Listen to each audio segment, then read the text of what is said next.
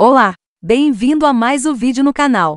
Fique até o final do vídeo que tem uma novidade muito legal para você. Como fazer o pincher parar de morder? Quando o filhote morder você, simplesmente diga não, e então dê ao filhote algo que possa mastigar que seja dele como um brinquedo ou osso. Elogie o filhote assim que parar de morder. Procure não tirar as mãos quando o filhote estiver mordendo.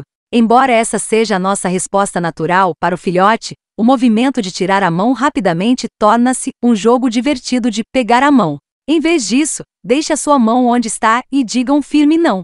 De novo, assim que o filhote parar, elogie e dê alguma coisa em que possa mastigar. Se você estiver brincando com o filhote, quando ele começar a morder você, pare de brincar imediatamente. É importante mostrar que o comportamento não é aceitável e que a diversão não irá continuar se ele morder. Alguns cães se assustam ao ouvir o dono gritar um ai, se isso funcionar ótimo, de novo, elogie o seu cão quando ele parar de morder. Sempre elogie qualquer brincadeira que não envolva mordida. O seu cão precisa entender qual é o comportamento adequado, não apenas ser corrigido pelo inadequado. Caso você tenha perdido o controle total e o seu cão não parar de morder, você deve separar-se dele.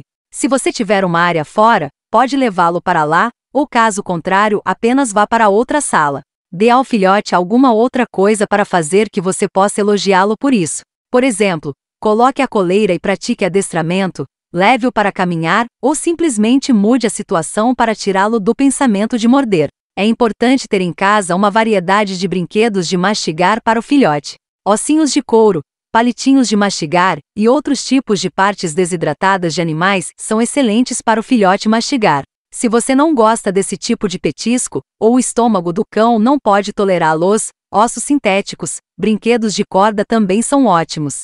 Você precisa encontrar algo que o seu cão realmente goste de mastigar de forma que ele realmente possa superar a fase. Assim como tudo que você dá a um filhote. Você deve regularmente verificar o brinquedo e monitorar o que estão comendo para garantir sua segurança e que não estão ingerindo algo que não é feito para engolir. Em resumo, Todo filhote de cão morde, alguns mais que outros. É importante lidar com isto e mostrar para o filhote que esse não é um comportamento adequado. Você deve ser bem consistente com o seu cão e não permitir que ele morda a qualquer hora. Lembre que cães entendem apenas o certo ou errado. Tenha uma boa variedade de coisas para o seu cachorrinho morder e sempre oferece a ele como alternativa para tudo que morder. Gostou do vídeo? Então deixe o seu like e se inscreva no canal. E não se esqueça da novidade que está aqui abaixo do vídeo.